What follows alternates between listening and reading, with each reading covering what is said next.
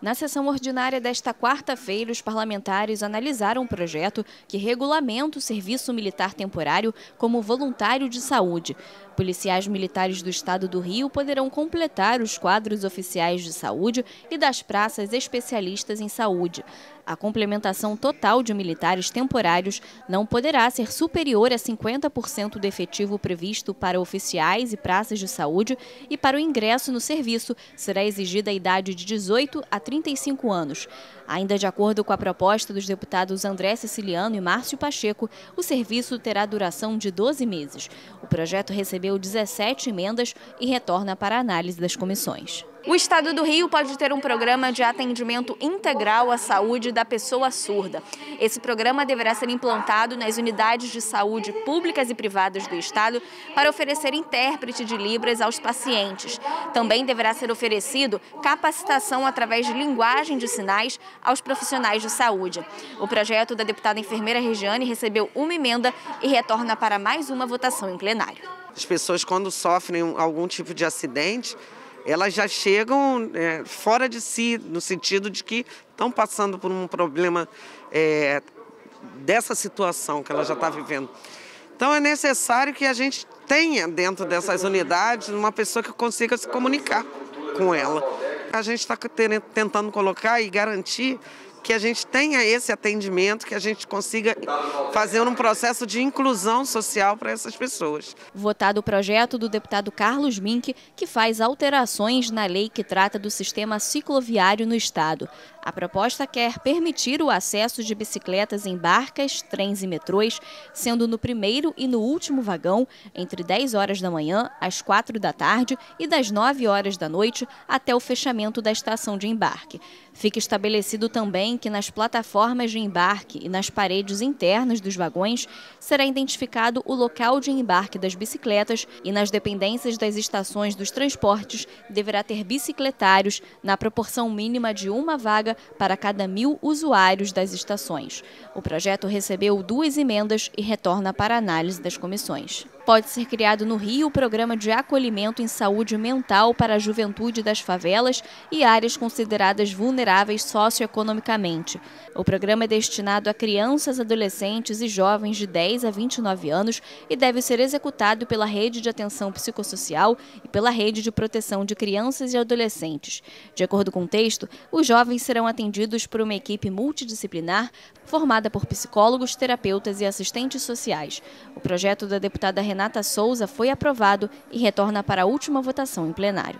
Esse é um projeto que busca regulamentar no estado do Rio de Janeiro a participação também tanto da Secretaria de Assistência Social e Direitos Humanos, como a própria Secretaria de Saúde. A gente está vendo crianças se automutilando. Então, esse é um projeto que vem no socorro dessas crianças e adolescentes que ficaram aí desprotegidos emocionalmente durante a pandemia. E votada a proposta que obriga a presença de letreiros digitais ou analógicos nas estações de trens, metrôs e barcas para anunciar os horários das composições aos usuários com deficiência auditiva. O projeto dos deputados Valdeci da Saúde e Marcelo Cabeleireiro foi aprovado em primeira discussão. Os parlamentares votaram o projeto da bancada do PSOL e do deputado Valdec Carneiro que cria um programa de enfrentamento ao racismo nas escolas públicas e privadas do Estado. Deverão ser realizados ciclos de debates e projetos pedagógicos que envolvam o respeito a tradições religiosas, as desigualdades territoriais e regionais, gênero, orientação sexual, entre outras formas de preconceito e intolerância. O projeto recebeu 24 emendas e retorna para análise das comissões. O ambiente escolar é um ambiente de muitas ações racistas, inclusive nós tivemos muito, muitos e muitos casos, principalmente envolvendo cabelo da população negra, né, as características físicas, então a importância de campanhas que efetivem de fato a Lei 10.639 que efetivem o combate do racismo no âmbito escolar são fundamentais. E na sessão extraordinária desta quarta-feira, os deputados aprovaram um projeto de lei complementar que regulamenta o Fundo Soberano do Estado. O fundo foi incluído na Constituição Estadual por emenda, mas precisava da regulamentação do Legislativo para ser colocado em prática. O fundo terá como finalidade constituir uma poupança pública com recursos dos royalties do petróleo e participações especiais de petróleo e gás. 30% do aumento das arrecadações nessas áreas irá para o fundo. Ele também será composto por 50% de todas as multas aplicadas às empresas que fazem extração na costa do estado, além de doações feitas por entidades públicas e privadas. A proposta ainda prevê a criação de um conselho gestor para elaborar políticas de investimentos para o desenvolvimento econômico e social do Estado a médio e longo prazo. O projeto foi aprovado pelos parlamentares. Hoje nós votamos a regulamentação é, da administração do fundo. O fundo está criado, já tem um marco em relação à receita do fundo. Seguramente esse ano nós teremos mais de 2 bilhões e 300 milhões de reais no fundo, porque a receita dos royalties já passaram já passou de 18 mil, bilhões de reais, então seguramente comparado com o ano de 2020, 11 bi 100, já vai, vamos ter mais aí de 2 bi 100, ainda tem ainda o mês de dezembro. Então eu acho muito importante, eu acho que, como nós estamos dizendo, o Fundo Soberano é o passaporte para o futuro para o Estado do Rio de Janeiro. O Rio de Janeiro precisa pensar no desenvolvimento econômico, social, indústria, ciência e tecnologia, novos produtos, sempre em parcerias com universidades.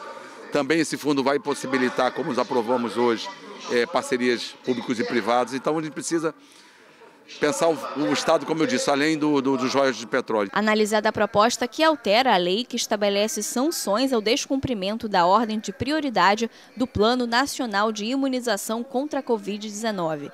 O projeto da deputada Dani Monteiro inclui no texto pessoas que forem flagradas fraudando a vacinação ou que portarem comprovante de vacinação falso. Agentes públicos que forem flagrados facilitando ou acobertando os atos também serão punidos. O projeto foi aprovado e segue para análise do governador. Um programa de incentivo à prática desportiva no sistema socioeducativo do Estado pode ser criado. A proposta dos deputados Valdec Carneiro e André Siciliano quer promover a reintegração social dos adolescentes por meio da prática de esportes. Poderá participar do programa o jovem que tiver bom comportamento, comprovante de frequência escolar e atestado médico que confirme aptidão para a prática desportiva. O projeto ainda autoriza o governo a realizar parcerias com federações, ligas esportivas esportivas e instituições de ensino superior para a implementação do programa. A proposta foi aprovada e segue para a análise do governador. Esse projeto é um projeto que se insere no esforço de consolidar a implementação das medidas socioeducativas, que o esporte né, favorece, por exemplo, o trabalho em equipe, favorece é, a, a, a, preocupação e a, a observância a regras, a disciplinamentos. Tudo isso é importante para a vida coletiva, para a vida social. É para fortalecer a dimensão socioeducativa, de modo que as unidades de delegado aqui no Rio se pareçam mais com unidades de ressocialização e menos com masmorras infantos juvenis. E analisado o projeto que propõe implantar um centro paralímpico do estado no município de São Gonçalo. O projeto do deputado Ronaldo Anquieta quer garantir a pessoas com deficiências um espaço adequado e acessível para a prática esportiva. O local também deverá oferecer melhores condições para o treinamento de atletas paralímpicos. O projeto foi aprovado e retorna para mais uma votação. Unidades de saúde públicas do estado podem ser obrigadas a realizar exames e consultas médicas para pessoas com mais de 60 anos no prazo máximo de 15 dias a contar a partir da data do pedido.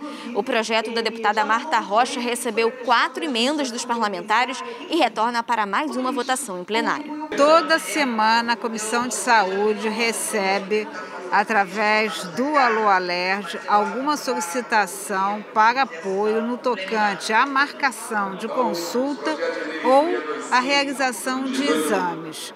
E, via de regra, as pessoas que pedem são pessoas idosas, que já têm, né, por força de lei, que ter uma atenção especial e que, em razão da sua idade e do problema médico que tem, acaba tornando mais difícil o atendimento e também o tratamento. Os deputados também votaram a proposta da deputada Zeidan e do ex-deputado Marcelo Freixo, que cria na Alerj o prêmio Marielle Franco. O prêmio será concedido para personalidades que tenham desenvolvido ou estejam desenvolvendo ações em defesa dos direitos Humanos no Estado do Rio, com destaque para os direitos da população negra, das mulheres e da população LGBT.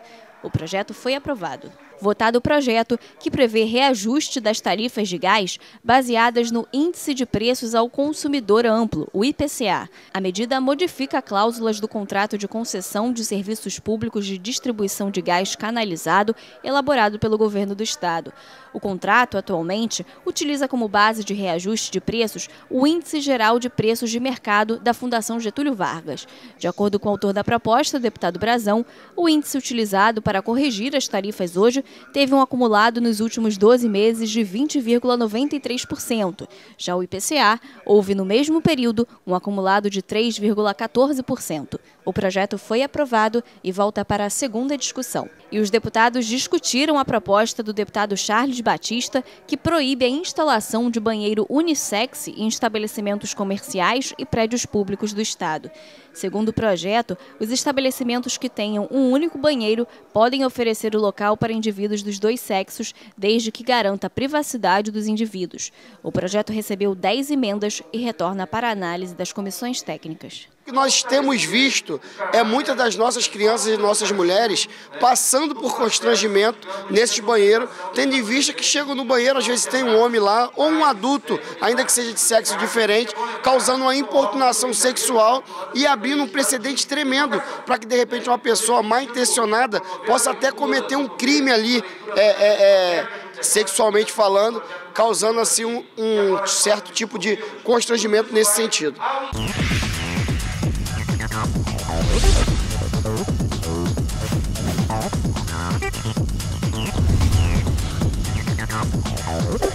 Oh.